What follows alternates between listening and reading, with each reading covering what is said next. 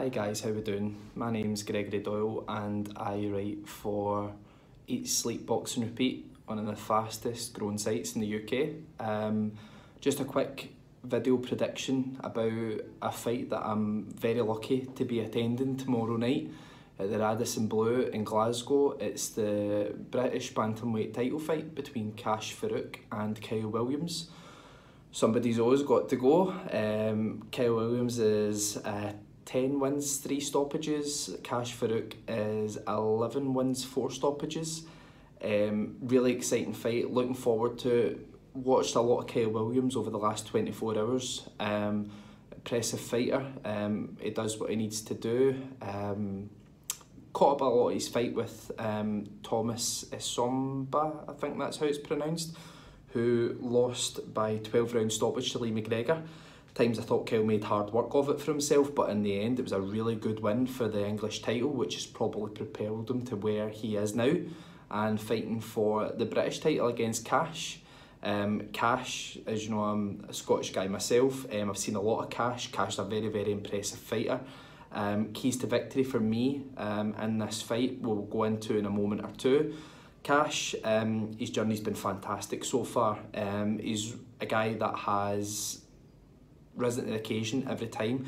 I was at his last fight, um, his win over Ian Butcher, where at times, even though from being the amateurs myself, Ian Butcher, phenomenal fighter, phenomenal amateur, um, with really, really high world ranking in the amateurs. Um, Kash dealt with him really well. Um, I think that the keys to victory, as I say, is something that we're going to cover off very briefly in the video and the prediction on how I believe that the fight will go. What I would say though is that I think it's a really, really great fight. Um, first of all, I believe that it's going to be quite high intense and I believe also that it's not going the distance. Um, so, which leads me to my keys to victory um, and how I believe the fight will go. So we'll start off with Kyle. Uh, so for Kyle, I believe that Kyle, from watching he seems very, very awkward, which is a good thing in a fighter. Um, he does walk back in straight lines, but it's effective straight lines. It's when he throws the jab, he slides his foot back, which is really, really good from time to time. Um, it can keep your opponent off balance. Um, he's also very good at working on the inside, which I noticed. Um, so those are, I believe, if he's going to get a victory tomorrow night, Kyle, I believe that he needs to show those attributes.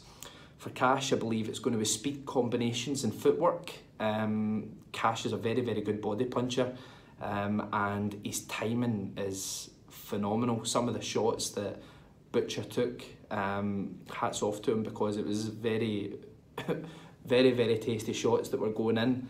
Um, I believe that Kash will stop Kyle late in the fight tomorrow night, or we could be looking at a wide points decision.